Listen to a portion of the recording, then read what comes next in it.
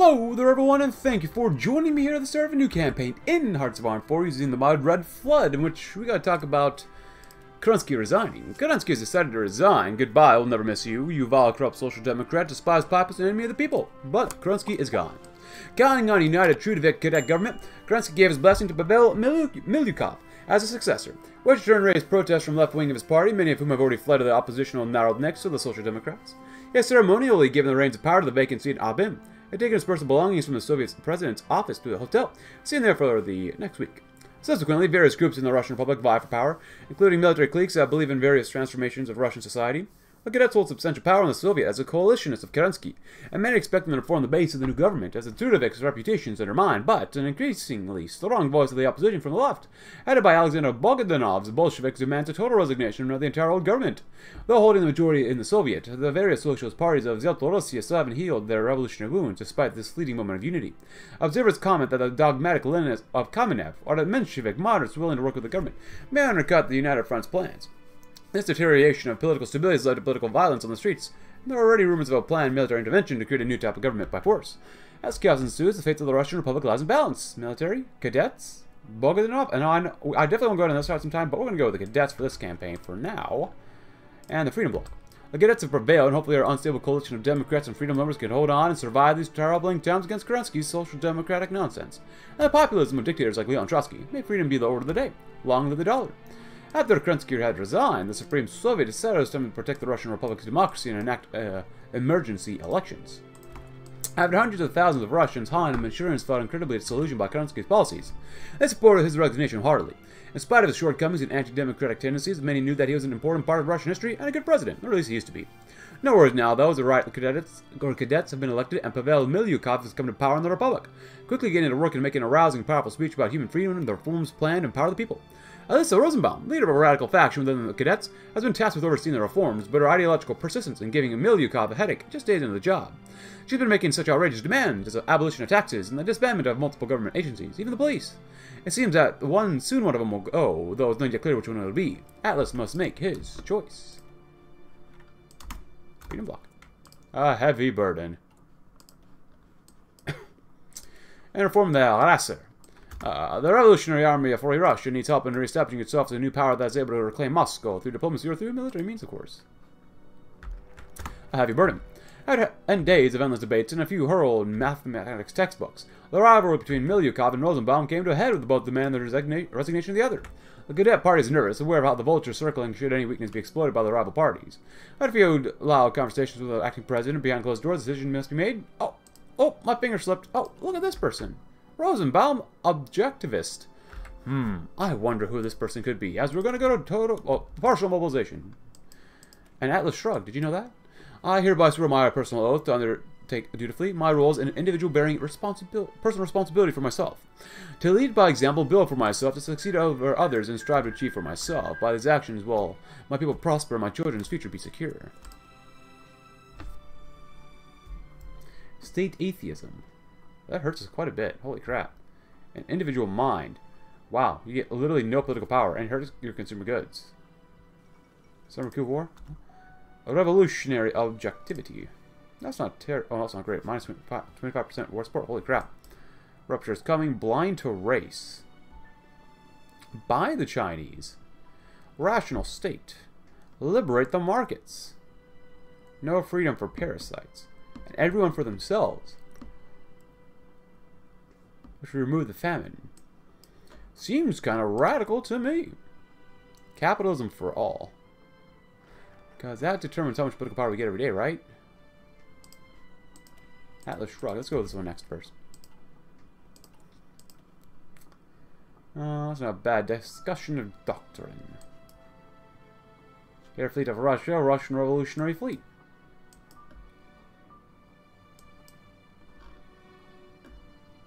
Rapture is coming, huh? Religion is not profitable. Let me get a research slot. I'm gonna go to this one. The personal and spiritual creeds of people generally are not marketable the same way branding is. Products and lifestyle should be the creed of the people, not so superstitious nonsense. The new material religion will decouple uh, the masses from their metaphysical or metaphorical opiates. Also let you know this is on ahistorical, so we will see what happens. Seems like we're going to need a lot of war support. A lot of weekly war support. Capitals with Prawl's not bad. Daily political is okay. Stockpile for war. Um, oh, and there goes Spain. Always dying. Oh, you gotta love the famine. Gotta love it. We've got 12 people here, maybe. Revolutionary objectivity. One of the reasonable means of liberating the masses from slavery is to make each of ma them masters of their own destiny. The method of class warfare must be cast out in favor of revolution against irrationality.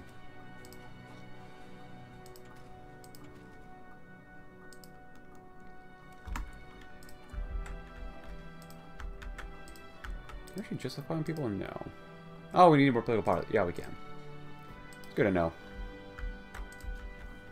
As everyone's killing themselves, you know, pretty normal stuff. We see any volunteers? Oh, we actually can.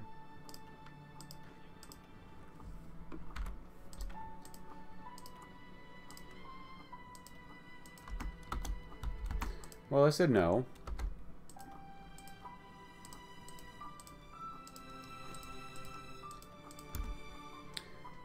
And they said, yeah. So I guess we'll help them out. Transylvania conspiracy seeds. Oh. Ana Pauker. Great Divide.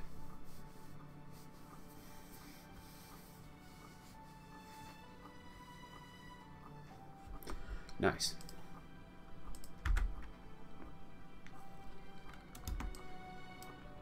Well, let's see what we can do here. Maybe get some army XP, maybe we can't, but you know what, whatever.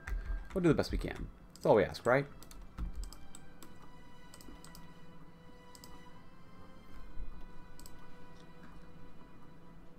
Hmm.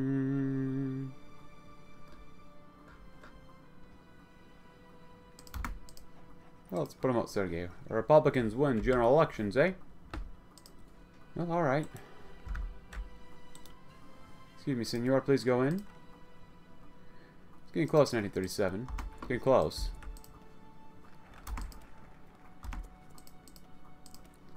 Yep. Individual mind. Oh boy. The rapture is coming. The dream of the objectivist wing of the cadets, the people's liberation through absolute deregulation of the economy. All this soon become reality. Skeptics have likened the ideas to the ramblings of the Acephale in France, and they see that they will soon see the truth. Of course, it doesn't help that we have no fuel, but whatever. Down to five. Not good. In the Amazon, eh?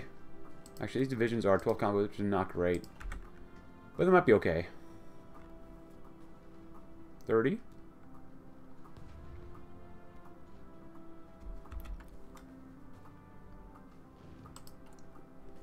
Oops, we're not even making divisions. My bad. Um, that type of division actually isn't too bad in itself. Make three. Make a horse division too. Um, actually. Gee, boys. Make one. Buy the Chinese. I did not think we'd be buying people in this episode. But here we are. You me and buying a bunch of Asians. Need way more guns though. That'd be nice. At the same time, we need to go to war, right?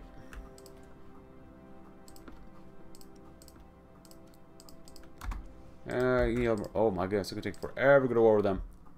Which is why we need to start now. And kill them all off. Two days. There you go. Uh-oh. Persia.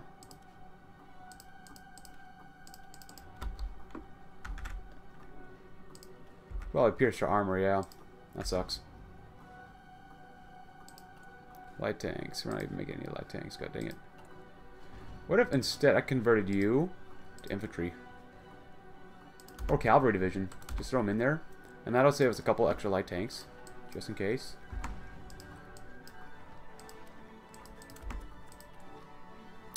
Well, the Rapture is coming by the Chinese. Get way more stability, which would be nice. Month population blind to race.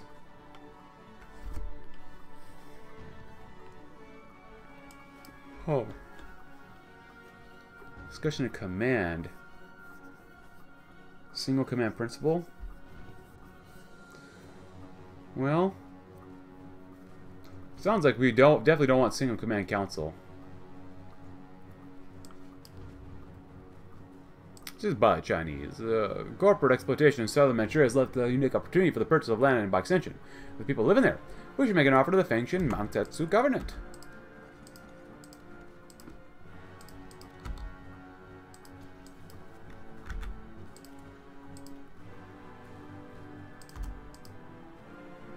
Happy February.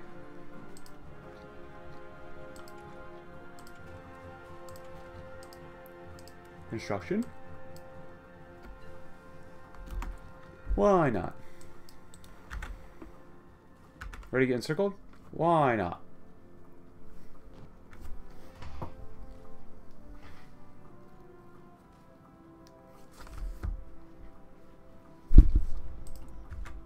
Rapture, rapture, rapture. Well, let's see. Since we have this person, can we grab everybody here? Famine relief efforts. Many proposals to relieve the famine table. Some have been acted, others have not. The pain and suffering continues apace in many areas of the country. Continued comfort of the leadership in Harbin is causing a distinct sense of resentment from the outlying towns of far-off cities such as Karabarovsk. If something's not done, the Revolutionary Republic may see an uprising of its own. Do whatever is necessary. Oh. Well, that wouldn't be good for us, now would it? Not bad. Preservation of culture. But who needs stability? Give us that political power. Blind race. Uh, while rampant nationalism is dividing ethnic groups into the around the world, we know better. There's nothing to say that our nation must be racially homogeneous. Russia has scarcely been so in all its history. Therefore, the new order shall see that races of people uh, shall not see the races of people, only their quality. Do they suck or not? That is a question.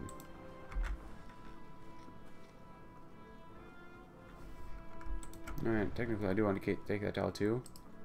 That seems like a lot of fun.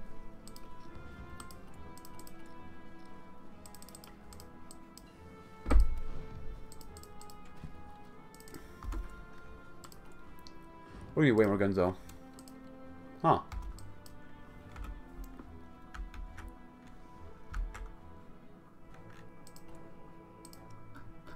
Yeah, we don't even have light tanks. Crap. That's not good. Do we have any spare light tanks here? Yeah, we do. It's not bad. Mm. Infantry is really not bad. That's pretty good, in all honesty. Could use some engineers, though.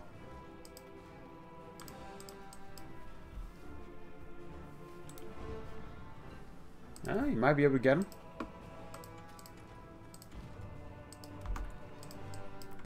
Maybe not. Now you might be able to get him.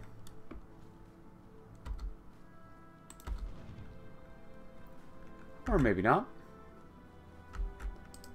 Where's the cap? Oh, the capital's up there. Okay. Makes sense. Grab this guy next, or this guy.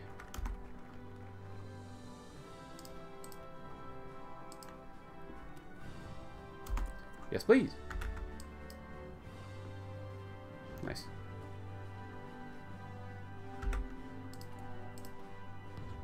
Real rational state. Liberate the markets.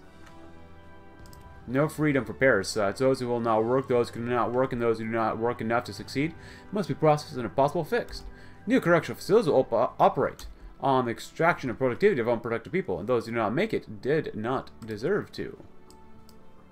Nice.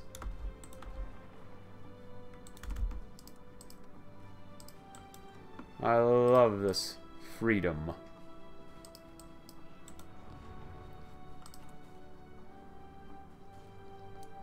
Integrated Manchus, not bad.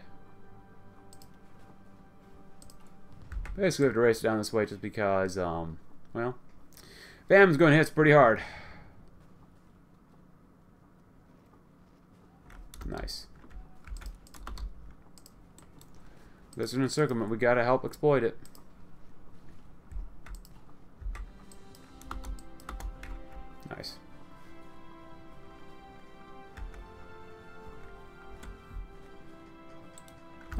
Job, guys.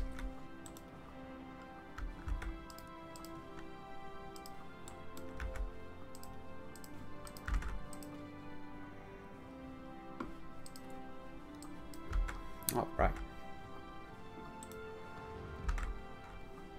Just hold here for now.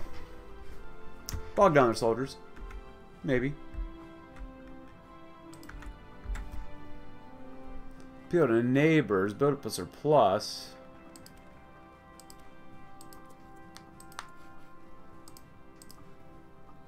Probably start working on this stuff too. How many more days do we have? Not that many days. Probably good to send them up now. Also gonna need that as well. Even though we will suffer some supply consumption problems as well.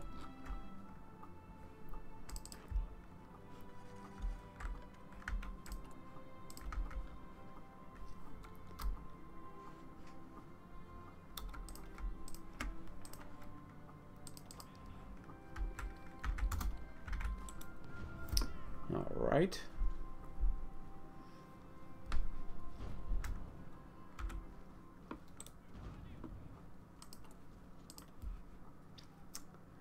Individual mind. I really don't want to do that one. But we have to. Everyone's an individual with his own thoughts, feelings, and biases. This is a fundamental flaw in the proletarian ideal, or ideals. They believe that the individuality of man can be broken with proper comradeship, comradeship, and social solidarity. How wrong they are. Nice.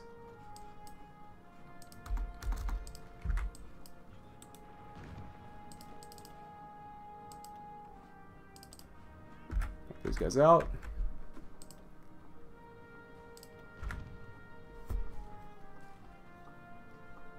You know, I forgot some planes, even though we can't really send that many planes at all. But let's go do this.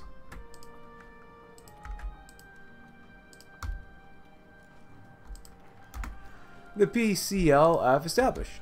We have established a PCLF, which are private prisons under private law which seek to ensure that our people have access to the highest quality treatment in prison despite committing transgressions against private laws and private citizens.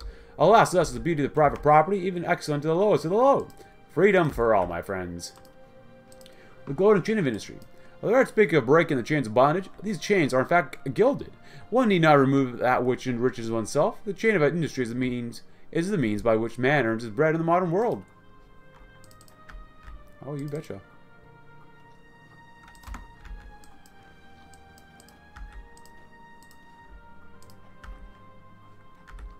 The Sergei. A little bit of a Slovak uh, revolution. The Jews are free.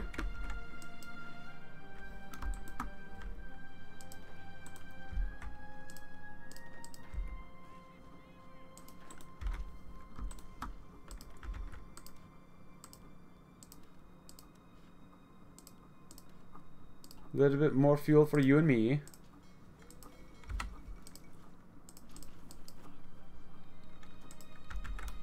Alright, making it easier for us in total. Um,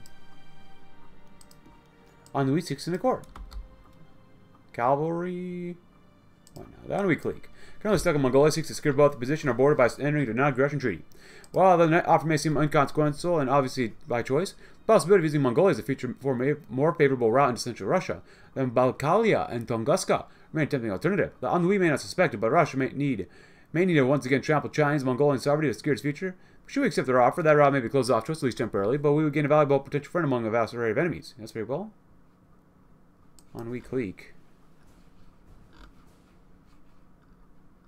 By call, you know what?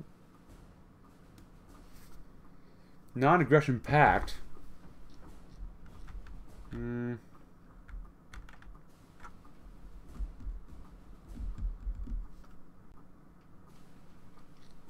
It's always good to have friends. You know what? We focus on these guys. then Transbaikal, and then Curie, and down here, and then up here, and then up here. You know what? We'll accept it for now. We're looking for our own best self-interests.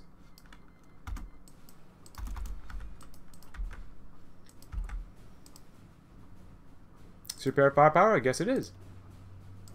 Golden chains of industry, please. Keep grinding that army XP. Hopefully everything here too. 0.56, good God, that sucks. Everyone for themselves. Society is, called, is constructed from individuals, a nuclear family, tribe, nation. These are all constructed of free individuals. Individuals who ought to have the freedoms to be the masters of their own destinies. It's free from social pressure, false morality, and myths.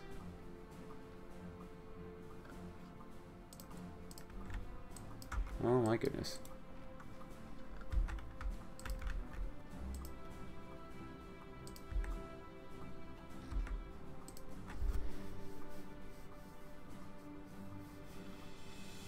Bad. Taking a while though.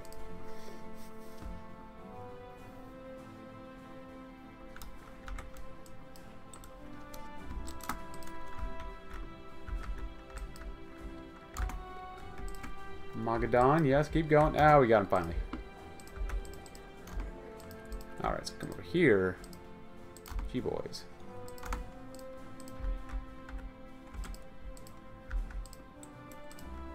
Vernudinsk. Um, training programs.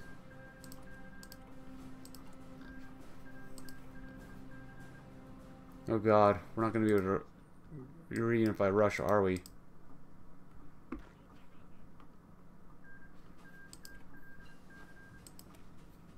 Armor trains.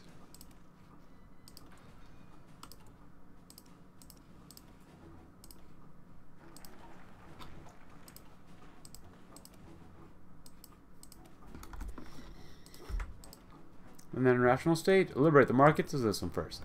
Strict adherence to empiricism and scientific fact dictate the forward direction of an objective society. Only the evidence is true, only the material is real, and the bare necessity of territorial security is a prerogative of the state. All else is the domain of the free people. It's almost 38, so I'll scrap this.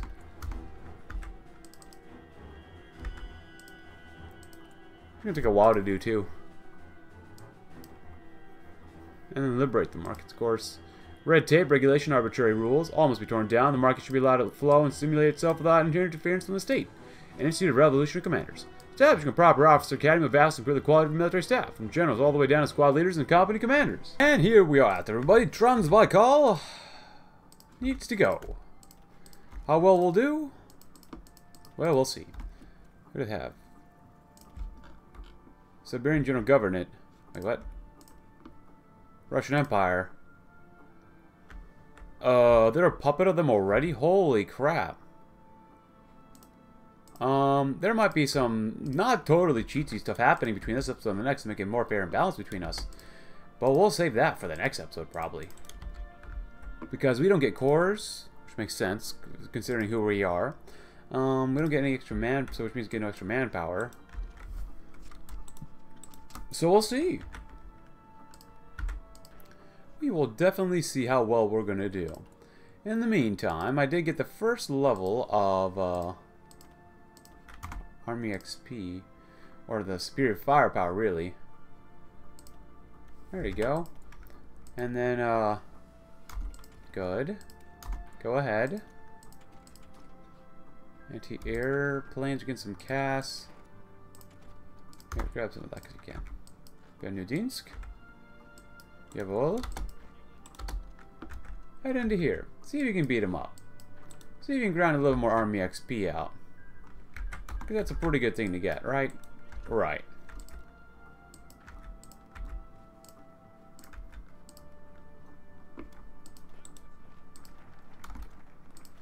Alright, well. Oh, trying to picture them takes forever, doesn't it? Discussion of doctrine. The official army doctrine is yet to be determined. After the success of the Brusilov offensive in 1916 and the successive offensive operations during the Civil War, it's become clear that some of the old guard ideas of infantry combat are outmade and or outmoded or mo modded, and change is needed. The question remains: Where will the army's strength lie? In deregulation. That's right. I don't know how we have military police, but didn't really have it. Ah, artillery and five trains. That's all we got. I mean, the Moldovan War? Curry? Well, hopefully we can do okay here, and if not, we're all gonna die. We will literally all die here. That's probably not a good thing. It's usually not. Oh boy, but you know what? I can make this a very short episode, but we're gonna wait. So go with Vaz Volenspetsi Kraskolmi. Well, we've already gone to logistic companies. No. Grand Battle Plan, focus on firepower probably. Go with Volenspetsi. The military leaders of the most experienced should be given the reins, the leaders from before the revolution, honest officers from the empire, who march with the conscience and join the revolutionaries. They should not lead us astray. Focus on firepower. A horrendous loss of life in the Velikia Volnya cannot be repeated. Mass infantry charges and with reckless disregard for life can be supplanted by successive firepower. We shall whittle down our foes with minimal loss through sheer force of fire.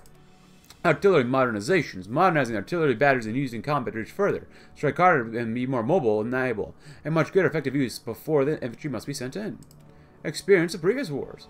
The Volnya Civil War have taught our commanders much of the new modern uh, manner of warfare, so we must learn from the past to see the future, of course. And let's go into discussion of command. Let's do Russian Revolutionary Fleet now. We'll do the uh, plain one. An air fleet of the Free Russia. Robust command of the skies of a free Russia will allow greater freedom to maneuver our armies. Research into new air tactics are an important step in gaining an advantage in this field of battle. Oh, we have amid the nations. Zviatorus is an isolated and often maligned country in order to make an impression, uh, impression on the international stage and research our claim as rightful leaders of all of Russia. Oh, I didn't realize this. I should have realized this. Ah, claim states. Ah, that'd be very nice. Um, I guess liberation of the motherland. With the east secure, we can at least secure Russia proper. The motherland beckons her sons and daughters home. Yakutia switching sides. Yakutia was initially aligned with the Republic, but the cowards Stark betrayed the cause and joined Kolchak. Oh boy. Uh, it's high time we retook the Yakut government, but we'll end it here for now. If you enjoyed the video, though, leave a uh, little bit of a like for Anne Ryan. Anne Ryan. Anne Rand. Uh, subscribe if you're new. Check out my Discord link in the description below, and I'll see you tomorrow as we will struggle our way forward to trying to reunite Russia somehow, some way. Thanks for watching. Have a great rest of your day.